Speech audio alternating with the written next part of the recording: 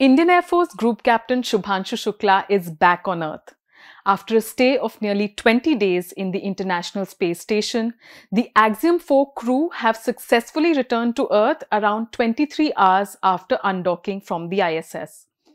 Hi, my name is Soumya Pillai, and I'm here to explain how SpaceX's Crew Dragon, which was christened Grace, completed a series of critical maneuvers to make a splashdown off the Pacific.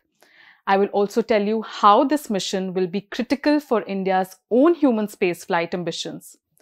Between Monday evening and Tuesday, SpaceX's capsule conducted different orbital phasing maneuvers. Closer to making a re-entry, Crew Dragon first jettisoned its trunk section and carried out the most critical maneuver, the deorbit burn. During a deorbit burn, a spacecraft fires its engines to slow it down and initiate a descent from its orbit into the Earth's atmosphere.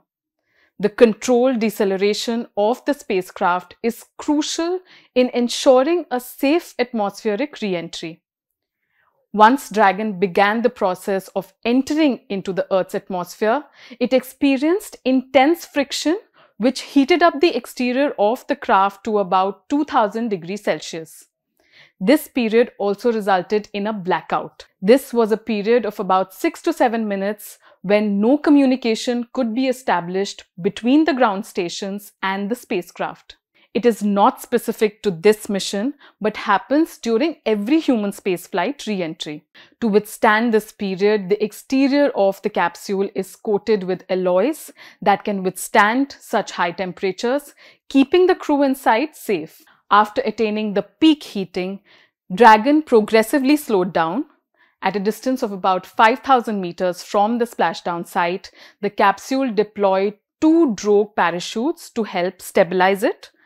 Finally, four more parachutes were deployed to bring down the descent speed to a safe range.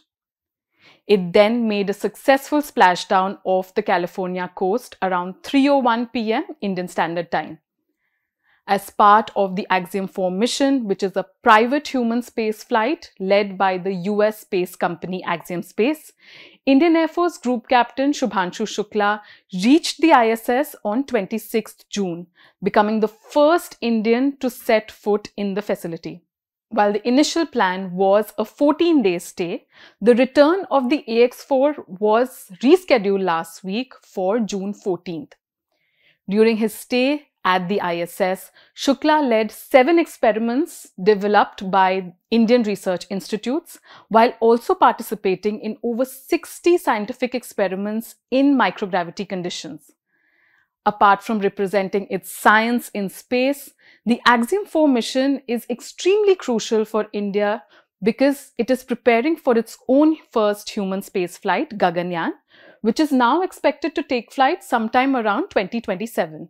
Shukla, who has been training for India's human spaceflight, is set to return with spaceflight experience, which is likely to be a gold mine for ISRO, for his Gaganyaan crewmates, and also for the entire Indian research community. That was all from me. I am Soumya Pillai for The Print.